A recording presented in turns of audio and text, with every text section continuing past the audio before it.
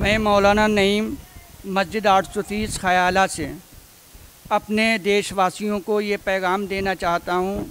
आप तमाम देशवासियों यानी अपने मुल्क हिंदुस्तान के गिरा रहने वालों को ये पैगाम देना चाहता हूँ कि हमेशा मुल्क में अमन व शांति का माहौल बनाए रखें। जिस तरह आज ईद अजहा के मौके पर हमने और आपने एक दूसरे के साथ कांधे से कांधा मिलाकर ठीक आठ बजे मस्जिद आठ सौ तीस ख्याला में नमाज़ ईद अजहा अदा की और ईद अजहा अदा करने के बाद एक दूसरे से गले मिले एक दूसरे को मुबारकबाद दी।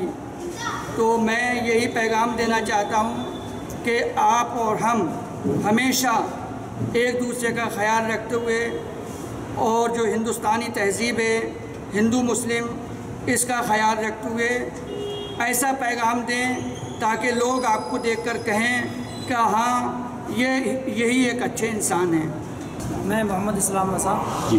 मस्जिद आठ सौ तीस ख्याला जी। जी आज बकरीद मनाया गया जिससे कि लोग एक दूसरे गले मिले।